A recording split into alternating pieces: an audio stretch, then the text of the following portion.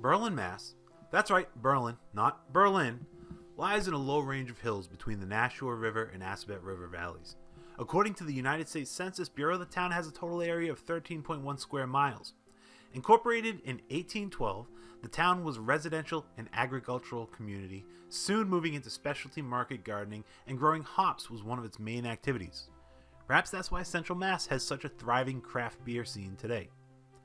Berlin is part of the Berlin Boylston Regional School District. Tahanto Regional High School is an above average public school located in Boylston, Mass. It has 561 students in grades 6 through 12 with a student to teacher ratio of 13 to 1. More than 98% of students graduate high school. Berlin is still a right to farm community, and you can't drive far without beautiful views of horse farms and apple orchards. And with plenty of open air spaces and miles upon miles of hiking trails, your outdoor activities are just a stone's throw away.